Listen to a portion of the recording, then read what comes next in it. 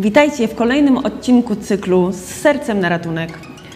Cykl firmowy ma charakter edukacyjny, który ma na celu przybliżyć nam, jak udzielić pierwszej pomocy w różnych sytuacjach.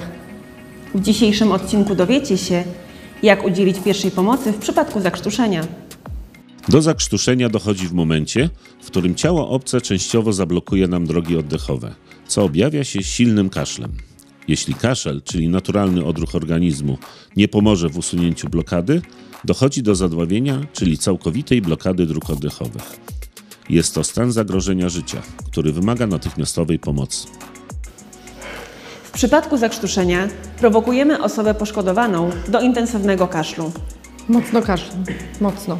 Następnie przytrzymujemy tą osobę w taki sposób, aby pochylić ją mocno do przodu, tak aby głowa znalazła się poniżej tułowia i ręką złożoną w kształt łódeczki uderzamy mocno między łopatkami. Robimy to pięć razy. Jeśli to nie pomogło, przechylamy taką osobę na siebie. Jedną dłoń składamy w taki sposób, aby z kciuka stworzyć wypustkę.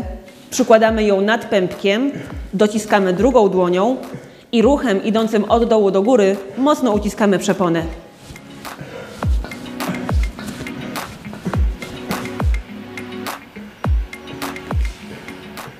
Sekwencję takich ruchów wykonujemy aż do momentu wykrztuszenia ciała obcego przez osobę poszkodowaną.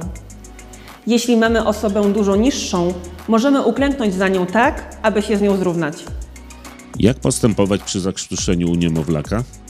W przypadku zakrztuszeń u niemowląt postępowanie wygląda zupełnie inaczej. Łapiemy dziecko w taki sposób, aby jedną nóżkę przytrzymać sobie pod łokciem, stabilizujemy głowę i pięć razy uciskamy klatkę piersiową. Następnie łapiemy dziecko pod brodą, przekładamy sobie na drugą stronę, również przytrzymując nóżkę łokciem i pięć razy klepiemy. Sekwencję takich ruchów wykonujemy aż do momentu ustąpienia objawów i odkrztuszenia zalegającego ciała obcego lub do momentu, aż dziecko straci przytomność. Wtedy natychmiast dzwonimy na numer alarmowy 112 i przystępujemy do resuscytacji krążeniowo-oddechowej.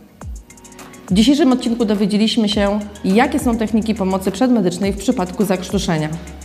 Pamiętajcie, że prawidłowe udzielenie pierwszej pomocy przedmedycznej może uratować czyjeś zdrowie, a nawet życie i znacząco skrócić czas pełnego powrotu do zdrowia osoby poszkodowanej.